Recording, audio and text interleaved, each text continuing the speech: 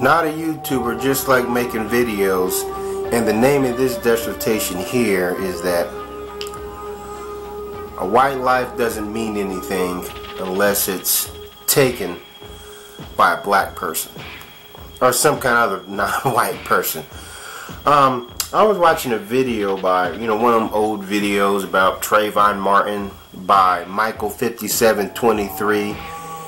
And he said something about um, how um, about Trayvon Martin, how uh, a black life doesn't mean anything unless a white person or a non-black person takes it, and the hypocrisy of black people. Oh, we get riled, we got riled up for the death of Trayvon Martin, and uh, you know what I'm saying? We don't give a damn about you know black on black crime or South Side Chicago. Oh, you know that that rah rah. You know, but the thing is with Trayvon Martin, that was a justice thing of uh, Zimmerman not going to jail. It's whether the scales of justice are uh, balanced out for black people. I don't know why people constantly get that misconstrued. You know, like we just got riled up because a black person killed, I mean, a white person or a non-black person killed a, a black person. You know, so um, yeah. So let me go into my presentation here. I think about um, the O.J. Simpson trial. You know, whether you believe he did it or not, I know there's uh, speculation that there was a serial killer, O.J. Simpson hired some hitmen or whatever. But at the um, when O.J. was acquitted, um, you know, popular consensus was he did it, and uh, he, uh, him and his lawyers manipulated the court systems in their favors, and he got off well, through technicalities you know, and white people were furious, you know what I'm saying? They were in outraged, you know, and they were outraged for years to come until he finally got locked up for something else.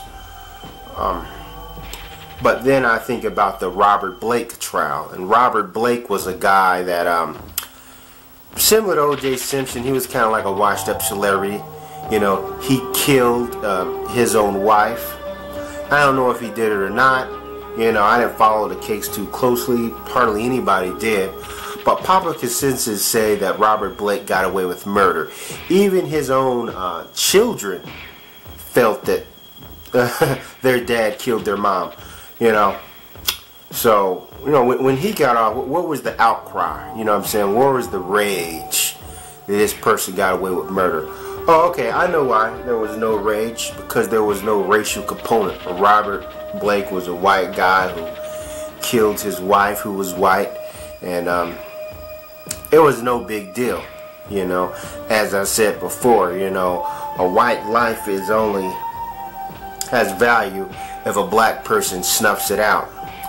And that's the um, so in America it's like we care more about the uh, color of the killer and the racial component if there is one in a murder than you know the actual murder rather who's guilty and who's innocent you know and if a, if a killer's gonna walk. It reminds me also I want to go into the Charles Stuart case which I touched on on, on a previous video about this white guy you know he kills his pregnant wife blames a black dude and you know and it creates a lot of racial tension in Boston at that time. You know, the good black people was holding their heads in shame like, oh, I can't believe, you know, black person killed did this, you know, making the whole black race look bad.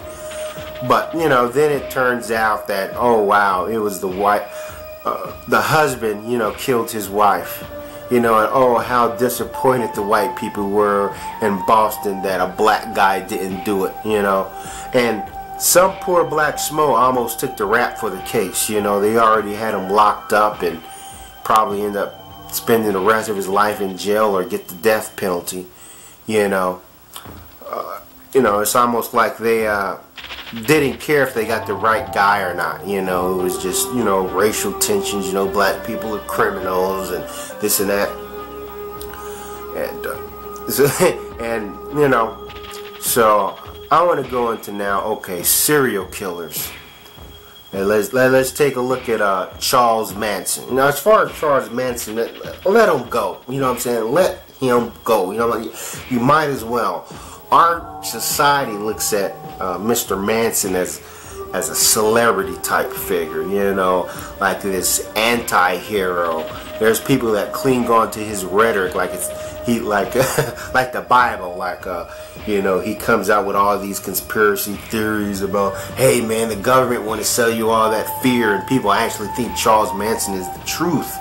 You know, they make T-shirts about him, and you know, get they get movies, um, but they forget, yeah, this guy killed people. He helped orchestrate it, you know, some grisly murders, you know, with his gang there. You know, he manipulate them into, you know, doing all sorts of heinous acts. You know, people tend to forget that, yeah, this is a dude who uh, snuffed out lives. But, you know, the people he killed were white. You know, maybe he killed some black people. But, you know, people are just so fascinated with this guy. You know, and we just and also want to go into another serial killer, another sick son of a bitch. Um, John Wayne Gacy. Interesting. Uh, this guy's very interesting. You know, he dressed up as Pogo the Clown. He he was charged with 33 counts of murder. Um, you know, he could have killed more than that. Those are the 33 bodies he buried in his backyard in the crawl space of his house, whatever. And I wonder, how did this guy get away with killing for so long until he was finally caught? You know, all these young white boys was uh, disappearing around his um in his circumference. I imagine if John Wayne Gacy was a black guy, you know, and all these white boys were just vanishing last time they were seen was with this black guy. How high would the death count be before, you know, the police moved promptly to capture this guy? You know, maybe two bodies. That's it.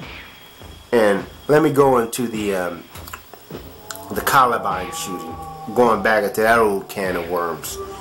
You know, White people have uh, mocked the dead when they came out with a video game. Yes, an actual video game about the Columbine shooting where you play the uh, shooters, you know, going around uh, killing people. Now, I admit, when, when there's a school shooting, there's a bunch of white people getting killed at a, in a large quantity. You know, white people, you know, they, they act like they're... Um, like they're disturbed by it, you know, it may grab uh, attention. You know, I, am just saying, you know, a, a, lot of these murderers, white murderers or whatever, you know, they grab national attention. They are looked at as monsters, but it's not like when uh, it's, it's a whole different uh, scenario when a, a black person, you know, kills white people. They just, you know, they'll just look at all black people as animals. Like, um, check out this, or let me create this scenario. You know, and prove me if I'm wrong. Uh, imagine, you know, that you have a serial killer, a sociopath, you know, uh, psychopath. You know, and he killed 15 white girls. You know, he's and good white girls too. I'm like white girls that have a future. You know, uh, sororities at Ivy League college. He killed them, raped them, mutilated them. You know, and then tried to make a a suit made out of human skin, if you know what I mean. You know, and people call him a monster or whatever, but then he'll get a t-shirts. Maybe he'll get a video game. Maybe he'll get his own uh, movie. But imagine a black guy. Some black guy with braids in his hair. Some barley, burly looking black dude uh, rapes and kills a white female and a white female with a dismal future, you know, someone who's a stripper and who's a meth head. You know, white people be going around talking about, oh wow, this is diversity, you know, black people are animals, they're always doing this to us, you know. uh, this is what happens when you integrate with these animals and so forth. And you know, let's take the the, uh, the James Holmes case. You know, the Colorado shooter. You know, I'm like, he got his own Facebook fan page. I'm like, he got, you know, there's white kids dyeing their hair orange or green or whatever. You know, talking about this guy an inspiration to them.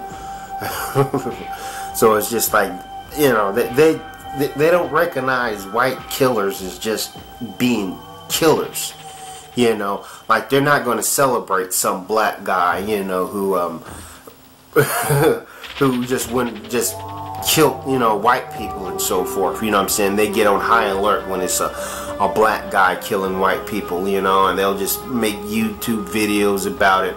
Like um that incident with those two that that couple there who got killed in Tennessee by you know, oh is it five black people got convicted for their murders or whatever and these people mutilated their bodies you know six five or six black people got you know and that, that was awful you know that was terrible. I looked at it, i'm like man how, how can black people do this? But you know they didn't put out a cry when those two, what four white people like mutilated those two black guys. Uh, and i guess you know one one of them went to the police and i think only two of them was involved in the murders. So I'm like, if you ain't gonna make an outcry, you know, it, you know what I'm saying? It's like what I'm saying is that it seems like you know the the color of the perpetrator, you know, is more important than the uh, crime itself. You know what I'm saying? Whether the black guy, you know, killed white people and so forth. You know what I'm saying? I can go into a whole lot of these. Uh, killer type guys. But um, that's all I want to say. Thanks for watching.